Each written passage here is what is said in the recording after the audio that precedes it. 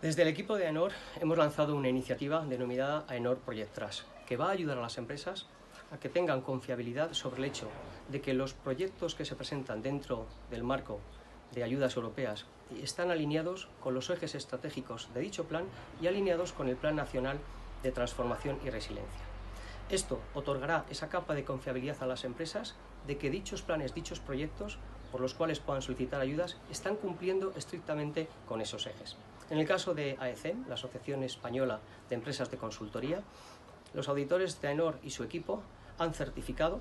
que está cumpliendo dicho proyecto con uno de los ejes de transformación importante que es el de transformación digital. Desde ANOR estamos muy contentos de poder ayudar así a la recuperación de las empresas, especialmente empresas pequeñas y medianas.